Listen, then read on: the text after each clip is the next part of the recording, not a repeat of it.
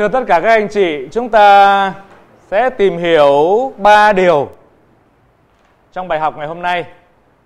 Thứ nhất là ý nghĩa của bí tích thêm sức. Thứ hai, lịch sử của bí tích thêm sức. Và thứ ba, đó là hiệu quả của bí tích thêm sức. Tôi nói ngắn gọn, ý nghĩa, lịch sử và hiệu quả của bí tích thêm sức. Trước hết, ta nói về ý nghĩa của bí tích thêm sức.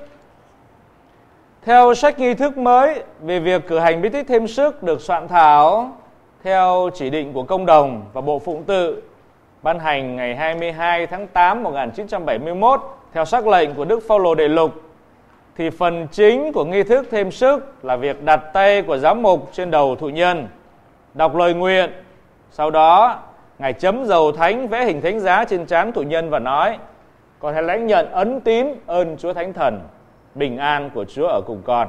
Chúng ta thấy ở đây trước hết là nghi thức đặt tay của giám mục với lời nguyện và sau đó là việc sức dầu thánh trên trán. Đến độ một số nơi người ta gọi bí tích này là bí tích sức trán. Bí tích sức trán. Thế thì ở đây chúng ta để ý đến việc đặt tay và sức dầu ý nghĩa của việc đặt tay và ý nghĩa của việc sức giàu là gì? Việc đặt tay là một cử chỉ truyền thống để chúc lành hoặc để trao ban quyền bính.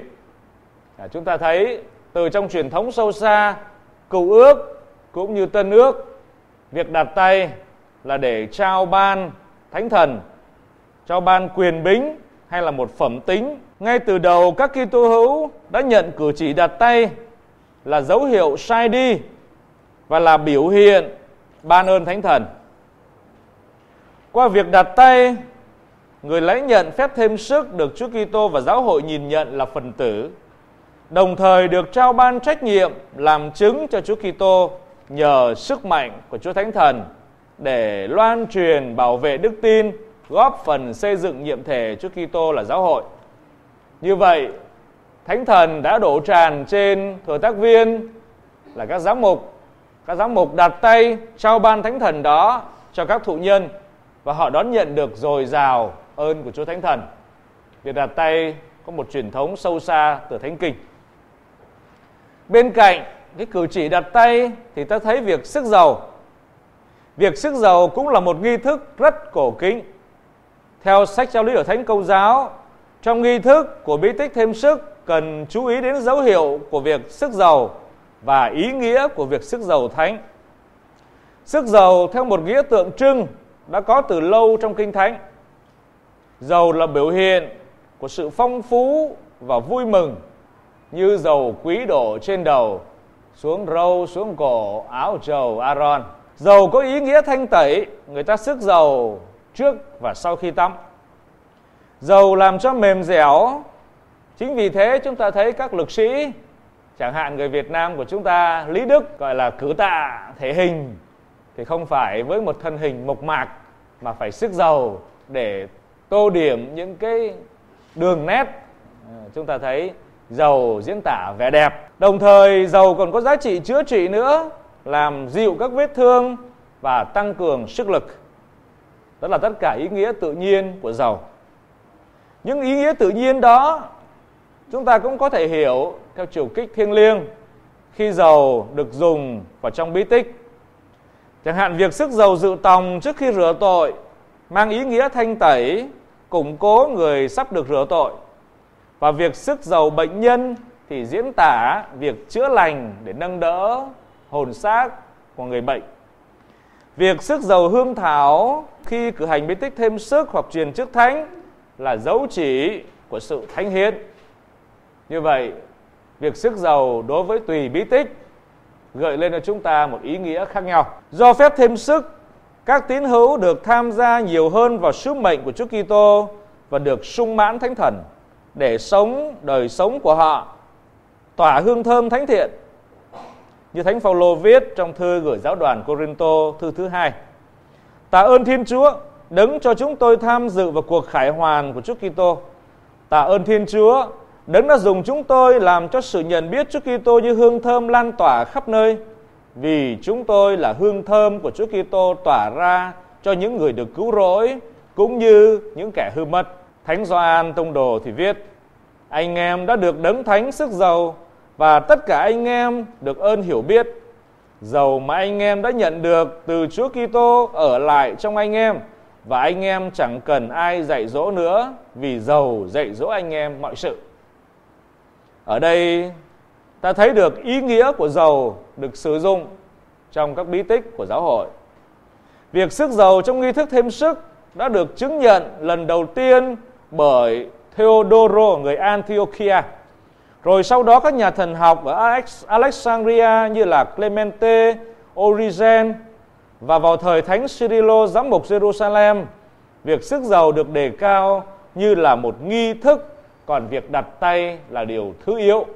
Sức dầu là chính, đặt tay là phụ.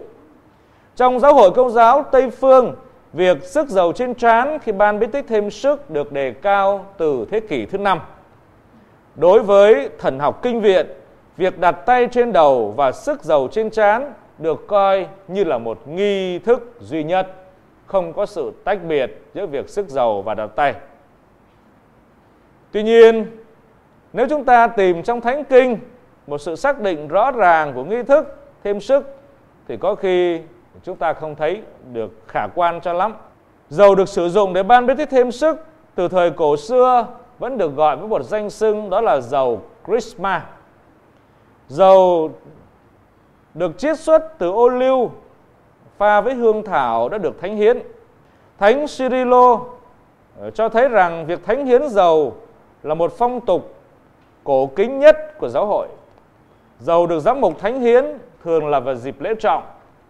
Và cũng Thánh Cyrilo nói với chúng ta rằng sau khi được thánh hiến, dầu không còn là dầu nữa mà trở thành chrisma tức là hồng ân của Chúa Kitô, có năng lực để trao ban thánh thần. Các nhà sử liệu xưa không nói gì về việc pha trộn chất thơm vào dầu thánh. Thánh Thomas thì giải thích ý nghĩa tượng trưng của hương thảo. Hương thảo có đặc tính là hương thơm lan tỏa. Hương thơm có đặc tính lan tỏa như thế có khả năng diễn tả rất sống động, tượng trưng cho sự sung mãn của Thánh Thần được thông ban qua dầu hương thảo vì nó lan tràn qua kẻ khác, lan tỏa trong hoạt động của cộng đoàn. Cùng với việc sức dầu và việc đặt tay, nghi thức ban thêm sức còn có lời nguyện. Qua dòng lịch sử thì lời nguyện này được thay đổi. Ờ, Kinh Thánh chỉ nói đó là một lời cầu nguyện, chẳng hạn như trong sách công vụ tông đồ, hay là chúng ta có thể tìm thấy nơi các chứng từ của đi đa khê chẳng hạn. Ờ, và cái lời nguyện đó thì thay đổi với thời gian. Trong nghi thức hiện ngày hôm nay khi cử hành bí tích thêm sức thì lời nguyện đó như thế này. Lạy thiên chúa rất nhân lành là cha của chúa giêsu kitô chúa chúng con xin nhìn đến các tín hữu đã được rửa tội mà chúng con đặt tay trên họ nhờ phép rửa tội cha đã giải thoát họ khỏi tội lỗi làm cho họ được tái sinh nhờ nước và thánh thần như cha đã hứa. Giờ đây xin cha đổ tràn trên họ thánh thần của cha. Xin ban cho họ được dồi dào thánh thần như xưa kia đã ngự xuống trên Chúa Giêsu Kitô, con của cha. Tinh thần khôn ngoan và thông hiểu, tinh thần chỉ bảo và sức mạnh, tinh thần nhận biết và thảo hiếu. Xin cho họ được tràn đầy tinh thần kính sợ nhờ Chúa Giêsu Kitô đấng cứu độ chúng con, người hằng sống và hiển trị muôn đời. Đó là lời nguyện khi giám mục cử hành bí tích thêm sức. Chúng ta thấy đó là cái nét căn bản nói về ý nghĩa của dầu, của việc đặt tay và cũng là lịch sử của việc đặt tay cũng như sức giàu của bí tích thêm sức. Khi nói về hiệu quả một khi đã được đặt tay và sức giàu như thế, thụ nhân đón nhận ân của Chúa Thánh Thần. Bí tích thêm sức kiện toàn bí tích rửa tội, nhờ đó làm tăng trưởng các ơn thánh, ơn cứu độ do bí tích rửa tội đem lại. Tuy nhiên, bí tích thêm sức mang ơn thánh mới một cách đặc biệt, nhất là ghi dấu ấn không thể xóa nhà, ờ, khiến một khi đã lãnh nhận bí tích thêm sức thì người ta không thể lãnh nhận lần thứ hai. Dấu ấn của bí tích thêm sức chứng tỏ người tín hữu trở nên giống Chúa Kitô, được kết hợp một cách đặc biệt với Chúa Kitô, được trở nên đồng hình đồng dạng với Chúa Kitô và trở nên một con người có khả năng để chiến đấu can trường mà làm chứng cho Chúa Kitô. Ý nghĩa và mục đích của dấu chỉ bí tích thêm sức không những làm cho chúng ta trở nên giống Chúa Kitô một cách rạng ngời, được tháp nhập vào Chúa Kitô và giáo hội, nhưng còn thuộc về Chúa Kitô và giáo hội theo một cách thức mới. Bí tích thêm sức cũng kiện toàn chức linh mục chung, ta gọi là chức tư tế cộng đồng đó. Chúng ta biết tất cả mọi người khi được rửa tội thì đều lãnh nhận chức tư tế, chức tư tế cộng đồng. Và sau đó một số người được tuyển chọn đón nhận bí tích truyền chức thánh thì đón nhận chức tư tế thừa tác.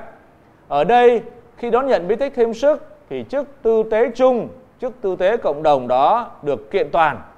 Thật vậy, bí tích thêm sức cho chúng ta quyền được tham dự đời sống tư tế ngôn sứ và vương đế của giáo hội. Nhờ đó có thể dâng hiến chính bản thân của mình và dâng hiến toàn thế giới cho Thiên Chúa, trở nên chứng nhân và công khai loan truyền Chúa Kitô trong chương trình cứu độ. Nơi người chịu phép thêm sức, chúng ta thấy hình ảnh của Chúa Kitô trong tư cách là Kitô hữu trưởng thành, người đã chịu phép thêm sức, được mời gọi để nỗ lực xây dựng nước Chúa, chống lại những cái cản trở làm cho vương quốc của Thiên Chúa không thể tăng trưởng. Phép thêm sức gia tăng đời sống thần linh. Bí tích này làm cho ơn Thánh Thần trở nên dồi dào trong đời sống thiêng liêng của người Kitô hữu trưởng thành. Sự thông ban Thánh Thần được diễn tả qua việc đặt tay, thường là Đức Giám Mục, người lãnh nhận sự sung mãn của Thánh Thần. Vì thế, phép thêm sức tượng trưng cho dòng sinh lực của Thánh Thần tuôn chảy từ Chúa Cha đến Chúa Con và nhờ Chúa Giêsu được thông ban cho nhân loại. Như Chúa Giêsu nói lớn tiếng trong đền thờ, ai khát hãy đến với tôi, ai tin vào tôi hãy đến mà uống. Như Kinh Thánh đã nói, từ lòng người sẽ tuôn chảy dòng nước hàng sống. Chúa Giêsu nói về thần khí mà những kẻ tin vào người sẽ lãnh nhận. Ơn Thánh Thần được đổ tràn trên các tín hữu, làm cho họ trở thành tông đồ, thành ngôn sứ, thành thầy dạy, ban cho họ ơn chữa lành và nói tiếng lạ. Cùng với các ơn ấy, họ hoạt động và chu toàn nhiều trách vụ khác nhau để góp phần kiến tạo nhiệm thể Chúa Kitô là hội thánh. Mỗi người được ơn đặc biệt của Thánh Thần để mưu ích chung. Chúng ta biết chỉ có một Thánh Thần thôi, nhưng à, có rất nhiều những cái ơn được ban và mỗi người đón nhận ơn tùy theo đặc sủng của Thánh Thần. À, người thì được ơn nói tiên tri, người được ơn làm phép lạ, người được ơn chữa bệnh, người được ơn giảng dạy. Cũng giữ giống như chỉ có một nguồn điện, nhưng mà có rất nhiều công năng khác nhau.